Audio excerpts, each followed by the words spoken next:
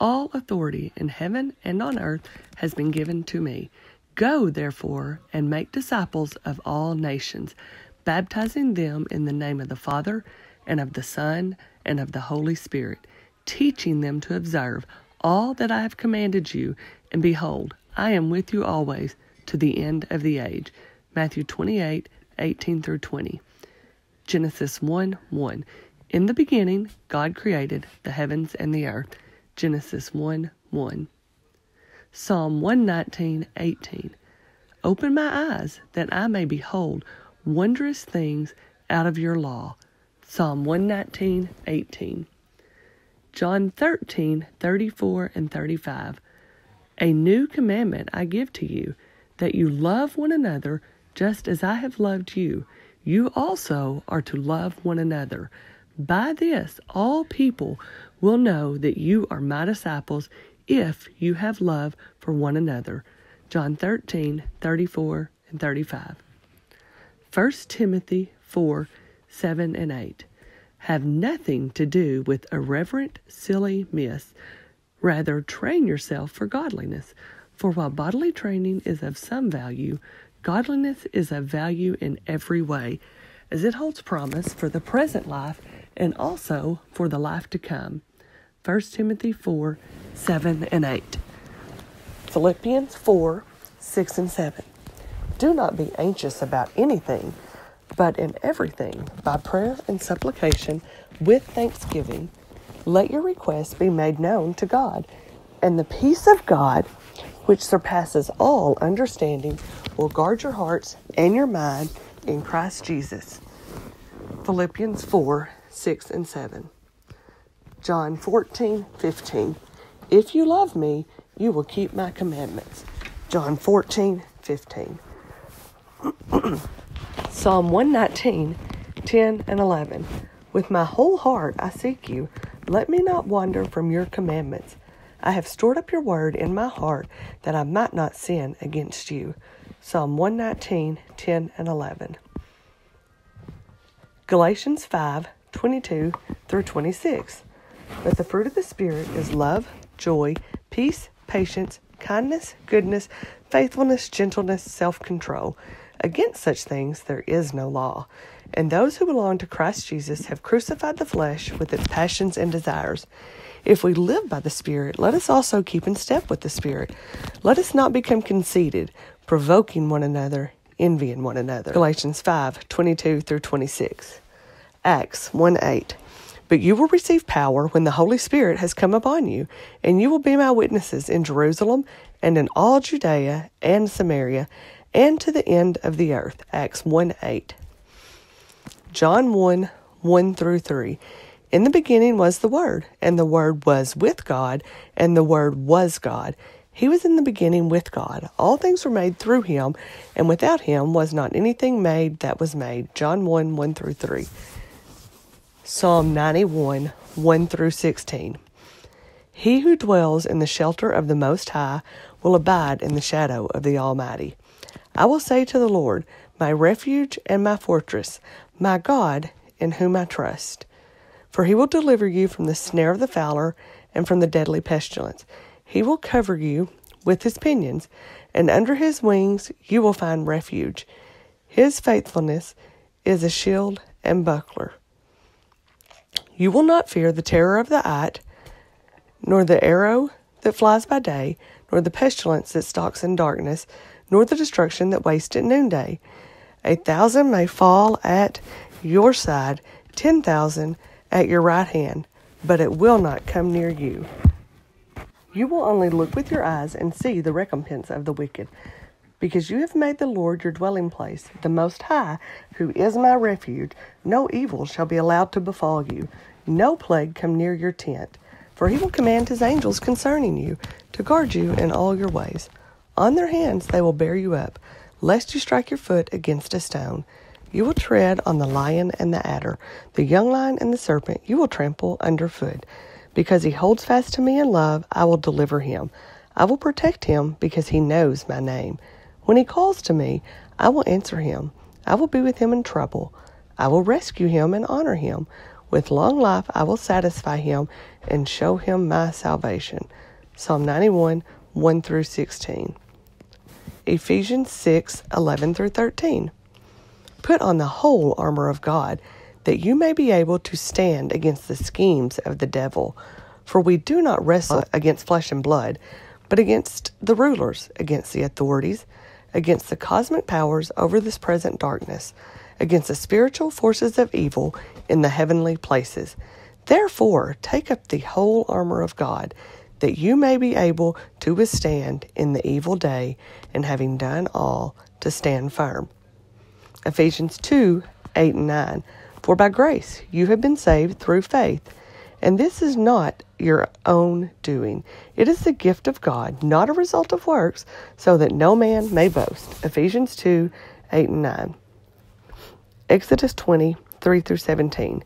You shall have no other gods before me. You shall not make for yourself a carved image. You shall not take the name of the Lord your God in vain. Remember the Sabbath day to keep it holy. Honor your father and your mother. You shall not murder. You shall not commit adultery. You shall not steal. You shall not bear false witness against your neighbor. You shall not covet. Exodus 20, 3 through 17. Colossians 1:10 Walk in a manner worthy of the Lord, fully pleasing to him, bearing fruit in every good Matthew work 5, and increasing 11, in the knowledge the of God. Colossians Blessed 1:10 are the poor in spirit, for theirs is the kingdom of heaven. Blessed are those who mourn, for they shall be comforted. Blessed are the meek, for they shall inherit the earth. Blessed are those who hunger and thirst for righteousness, for they shall be satisfied. Blessed are the merciful, for they shall receive mercy. Blessed are the pure in heart, for they will shall see God. Blessed are the peacemakers, for they shall be called sons of God. Blessed are those who are persecuted for righteousness' sake, for theirs is the kingdom of heaven. Blessed are you when others revile you and persecute you and utter all kinds of evil against you falsely on my account. Matthew 5 3 through 11. 1 Corinthians ten thirteen.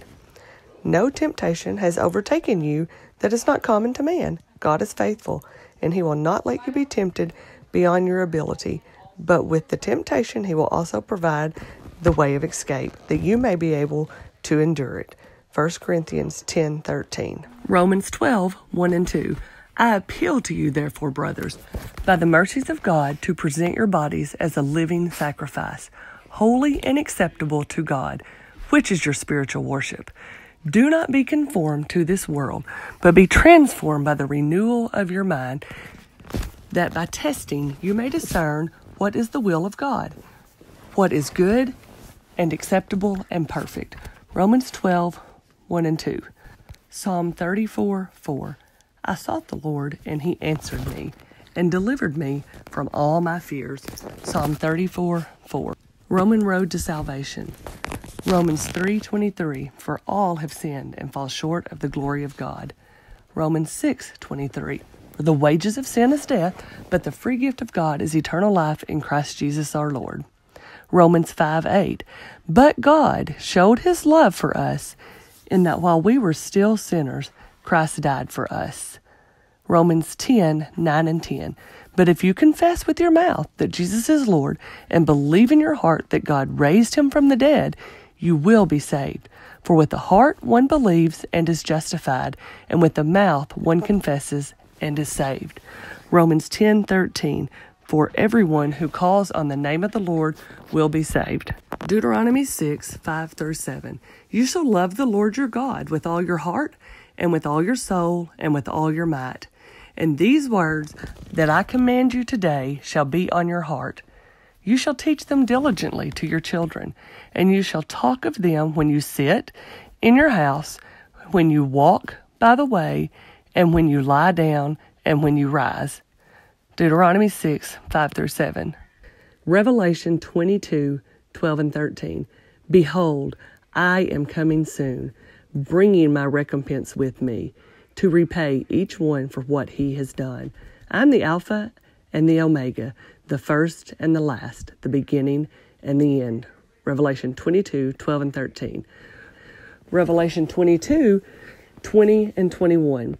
He who testifies to these things says, Surely I am coming soon. Amen. Come, Lord Jesus. The grace of the Lord Jesus be with all. Amen. Revelation 22 20 and 21. Psalm 100, verses 4 and 5. Enter his gates with thanksgiving and his courts with praise. Give thanks to him, bless his name. For the Lord is good, his steadfast love endures forever, and his faithfulness to all generations. Psalm 100, 4 and 5. Matthew 6, 33 and 34. But seek first the kingdom of God and his righteousness, and all these things will be added to you. Therefore, do not be anxious about tomorrow, for tomorrow will be anxious for itself. Sufficient for the day is its own trouble. Matthew 6, 33 and 34. Romans 8, 28. And we know that for those who love God, all things work together for good for those who are called according to his purpose. Romans 8 28. Psalm 4 8. In peace I will both lie down and sleep. For you alone, O Lord, make me dwell in safety. Psalm 4 8. Psalm 23 1 through 6. The Lord is my shepherd, I shall not want. He makes me lie down in green pastures. He leads me beside still waters. He restores my soul. He leads me in the paths of righteousness for his name's sake. Even though I walk through the valley of the shadow of death, I will fear no evil, for you are with me. Your rod and your staff, they comfort me. You prepare a table before me in the presence of my enemies. You anoint my head with oil. My cup overflows. Surely goodness and mercy shall follow me all the days of my life, and I shall dwell in the house of the Lord forever. 23rd Psalm. Isaiah 9 6. For to us a child is born, to us a son is given, and the government shall be upon his shoulder. And his name shall be called Wonderful Counselor, Mighty God, Everlasting Father, Prince of Peace. Isaiah 9 6. Colossians 3 15. And let the peace of Christ rule in your hearts, to which indeed you were called in one body, and be thankful. Colossians 3:15. Colossians 3:16 and 17. Let the word of Christ dwell in you richly, teaching and admonishing one another in all wisdom, singing psalms and hymns and spiritual songs with thankfulness in your hearts to God. And whatever you do, in word or deed, do everything in the name of the Lord Jesus, giving thanks to God the Father through him. Colossians 3 16 and 17. John 1 14. And the Word became flesh and dwelt among us, and we have seen his glory, glory as of the only Son from the Father, full of grace and truth. John 1 14. Joshua 1 8 and 9. This book of the law shall not depart from your mouth but you shall meditate on it day and night, so that you may be careful to do according to all that is written in it. For then you will make your ways prosperous, and then you will have good success. Joshua 1 8 and 9.